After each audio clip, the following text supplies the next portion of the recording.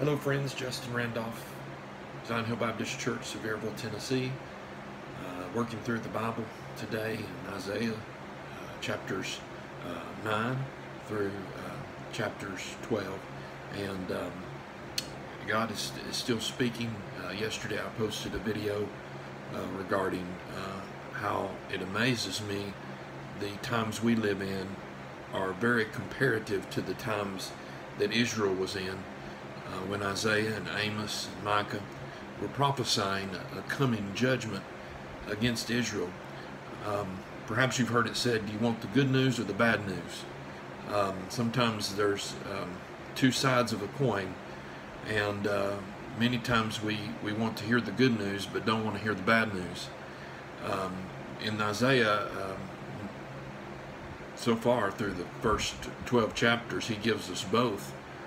Um, the first thing he gives us is the bad news that judgment's coming. He says in chapter 9, uh, verses um, 18, Surely wickedness burns like a fire. It consumes briars and thorns. It sets the forest thickets ablaze so that it rose upward in a column of smoke. By the wrath of the Lord Almighty, the land will be scorched and the people will be fuel for the fire. No one will spare his brother. Uh, the Lord is talking about coming judgment. And the problem is, um, verse 13 of chapter 9 says, The people have not returned to me. Um, you know, God has warned them repeatedly uh, about their sin, their wickedness, their pride.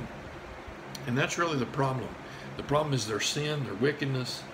Um, the Lord says, I will punish you for the willful pride of your heart and the haughty look in your eyes, for they say, By my strength and by my hand I have done this, and by my wisdom, because I have understanding, I have uh, plundered, I have built, I have uh, done these things. In other words, people have forgotten about God.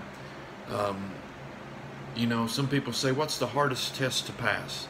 The test of adversity or the test of prosperity? Well, I'm here to tell you today, friends, it's the test of prosperity. Uh, because during times of prosperity, we tend to become prideful and pat ourselves on the back and, and talk about how great we are and all that we have done. But the Bible says, tells us that um, we have to glorify God and remember what He has done. Um, it's easy, so easy to become identified by our accomplishments rather than our relationships, and particularly our relationship with the Lord. Uh, what what benefit is it? The Bible says if we gain the whole world, you know, we're the king of the world, but yet we forfeit our soul. What benefit could that have? Uh, Paul said it this way: the things I once uh, thought were important are gone. They've become rubbish. They're dumped in the trash can so that I might embrace Christ. In other words, the Apostle Paul was very educated and very uh, successful in, in what he did, uh, and very well spoken and thought of uh, in the places that he ran, was very prosperous uh, and very well off. But he came to realize that it was all for naught if he did not have a relationship with Christ. But there is good news, friends, and the good news is uh, told to us in Isaiah chapter 10 and 11 and 12.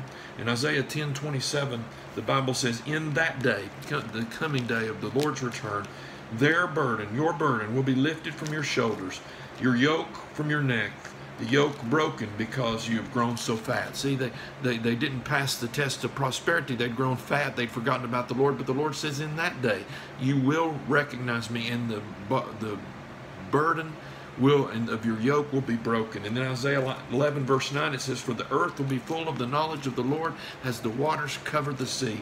Oh, what a wonderful day that will be when the whole earth is filled with the knowledge of the Lord. In Isaiah 12 verse 4, In that day you will say, Give thanks to the Lord, call on his name, make known away the nations uh, that he has done, and proclaim that his name is to be exalted. What a great day that's going to be. But friends, here's our choice today. We can bow our knees today or we can bow them then. The Bible says one day every knee will bow and every tongue will confess that Jesus Christ is Lord to the glory of God the Father. My question today is this, will you bow now or will you bow later?